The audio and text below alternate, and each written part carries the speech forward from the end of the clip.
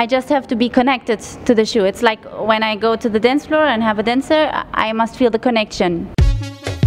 Kizomba dancers do not only connect with their partners, they also connect with their shoes. Shoes play a big role when it comes to dancing Kizomba or other dancing styles. Every Thursday, we review a dancer's shoe and her shoe preference.